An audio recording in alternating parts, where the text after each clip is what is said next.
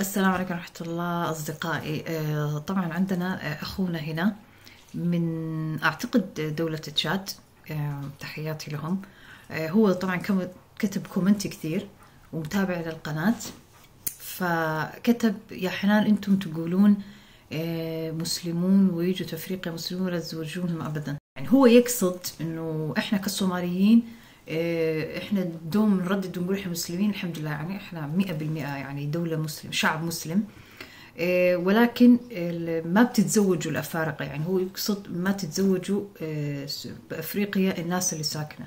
الحين إذا تكلمنا بصراحة أفريقيا قارة فيها قوميات كثيرة. ونحن عندنا حدود مع إثيوبيا وكينيا. ما عندنا حدود مع دولة أخرى. جيبوتي جيبوتي تعتبر, تعتبر امتداد الصومال يعني. يعني ما في فرق بينه وبين جيبوتي القبائل الموجودة في جيبوتي هي نفسها الموجودة في الصومال يعني. يعني حتى الحدود اللي مع إثيوبيا وكينيا هي كمان امتداد لقبائل صومالية يعني في كلتا الحالات. شوف عزيزي أقول لك شغلة. هي الشغلة مش شغلة آه، إنه إنه إنه الصوماليين يتعنصروا على القوميات الأخرى أو على مثلا البشره الأغمق أو على مثلا سكان مثلا. أنت قصدك مثلا غرب ال- القارة آه، أو جنوب القارة. هي القصة أول شيء قصة آه، إثنية. يعني قصة قبائل أو قبلية بشكل عام وقصة الدين. طبعا بدين الإسلام يحث أنك أنت تتزوج شخص مسلم أوكي؟ حدودنا مع دول غير مسلمة أوكي؟ عندك الحين ال- بشكل عام ال ال ال ال النا- عندنا إحنا جوا الصومال نفسها آه، إحنا قبائل.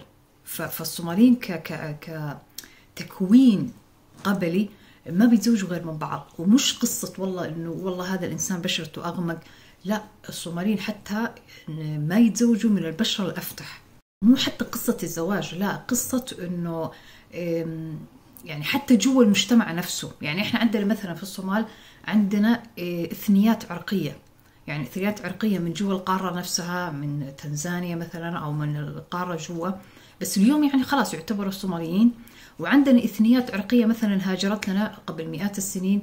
إيه، ليس فقط أنا من جوا القارة ما أعتبرها هجرة أعتبرها إنه هذا الشخص نزح من مكان لآخر ويعتبر قارته. بس في ناس جونا من برا القارة من أوروبا ومن آسيا. مثلا بنلاقي آه، صوماليين من أصول آه، هندية آه، عمانيه يمنية آه، مصرية عراقية سورية آه، كردية تركية. حتى عندنا صوماليين من أصول آه، برتغالية وأسبانية. لما سقطت الأندلس آخر ممالك الغرناطة جو عندنا. كان وقتها في سلطنة أو إمبراطورية اتشولان طبعا هم كلهم على بعضهم هذه الاثنين العرقيه يسكنون في أماكن محددة في جنوب البلاد آه، ونسبتهم ما تزيد عن 10% حتى من كل السكان الصوماليين.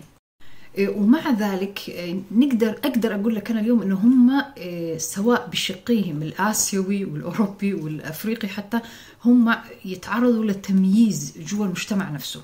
بعطيك مثالين. المثال الأول هو في عندنا من فترة شاب صومالي ما شاء الله عليه هو ملاكم اسمه محي الدين.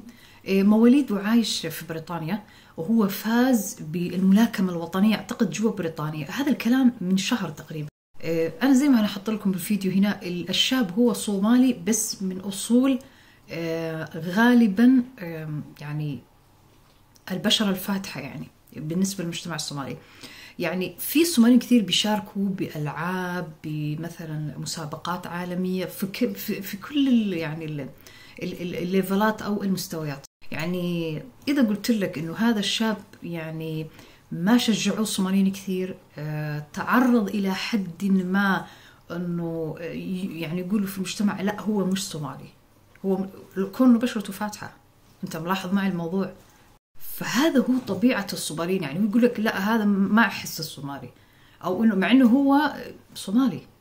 إن ذا إند يعني هو حامل العلم آه، والديه صوماليين وهكذا. عندك قصة الزواج. شوف حتى بالنسبة للأوروبيين أو اللي بشرتهم أفتح آه، مثلا آه، الإنسان الصومالي يعني الشعب الصومالي آه، ما عنده إنه هو لا هو لازم يتزوج من شخص لونه أفتح مثل ما في باقي المجتمعات الأخرى في العالم أغلبها بتحب تاخذ من يعني الناس اللي بشرتهم أفتح أو بيكونوا جايين على شقار أو عندهم حتى في بعض مثلا عندنا عندهم مصطلحات تحسين النسل. هذا الشيء مو موجود في المجتمع الصومالي.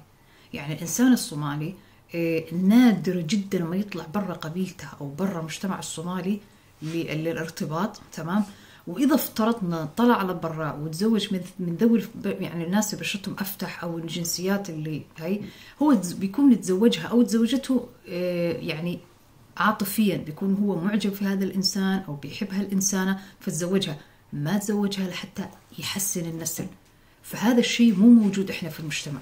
فعشان كذا يعني مو قصة مو قصة هي قصة إنه الإنسان الصومالي وهي حقيقة وهي من الأشياء اللي أنا شفتها بعيني وموجود تقريبا في أغلب يعني أقدر أقول لك 95% من جينات الشعب الصومالي ما عنده انبهار بالغرب. أو انبهار باللي والله شخص الاشقر أو شخص. يعني مثلا إحنا بنلاقي جنسيات مثلا عربية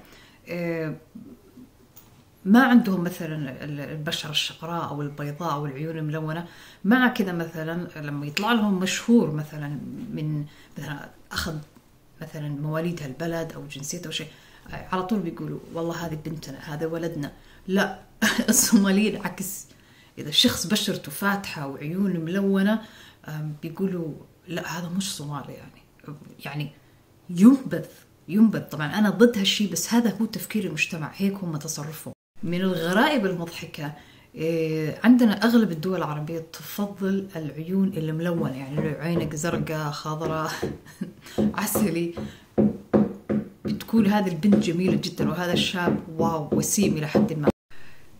في الصومال مثلا في مثلا فتيات أو شباب عيونهم تجي على عسلي على مثلا أخضر غامق هي نادرة بس موجودة هل تصدق أنه هي تعتبر علامة شؤم؟ أو يمكن هذه الشخصيات ما حد يتزوج منها؟ إيش اللي سبب هذا الشيء؟ إنه الشخص الصومالي ما يرتبط أو ما يأمن للناس اللي بشرته أغمق منهم كسكان القارة أو الناس اللي بشرتهم أفتح منهم اللي عايشين برا القارة الأفريقية أنا عم بحكي. السبب هو حسب تحليلي أنا لما بحثت بالتاريخ والدي ان اي وهالقصص هاي إنه الشخص الصومالي طبعا هو موجود من آلاف السنين أوكي؟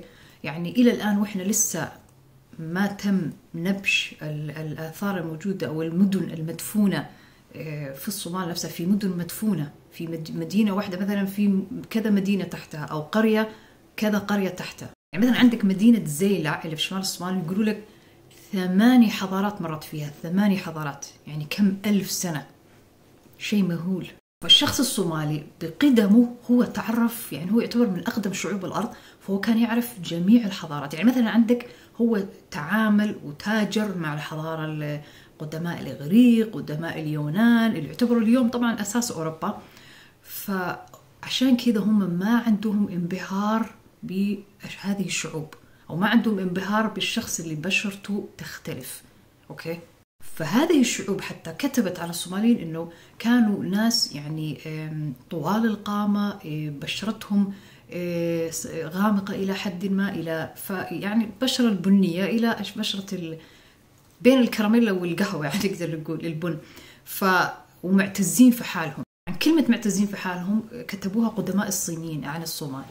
أو عن الصوماليين. عندك مثلا الحضارة الفارسية كتبت عن الصوماليين في وقت من الأوقات القديمة طبعا قبل كم ألف سنة أنهم كان وقتها أجمل وأوسم رجال العالم كانوا رجال الصوماليين. طبعا في وقت مملكة مكروبيان. كانوا يتمتعون بصحة وطول العمر. ليش؟ لأن غذائهم كان حليب الإبل أوكي ولحم الجمال. فالقصة ليست قصة أفريقيا وآسيا وأوروبا هي قصة طبيعة الشخص الصومالي طبيعة الشعب الصومالي إنه هو لا ينبهر بالبشرة الأفتح منه وهو في نفس الوقت ما يحتقر البشرة الأغمق منه ويحب يكون منغلق على نفسه إلى حد ما وأغلبهم ما يزوجوا من بعض واللي يزوجوا من برا ما يجوا حتى واحد أو اثنين بالمية. تحياتي لك.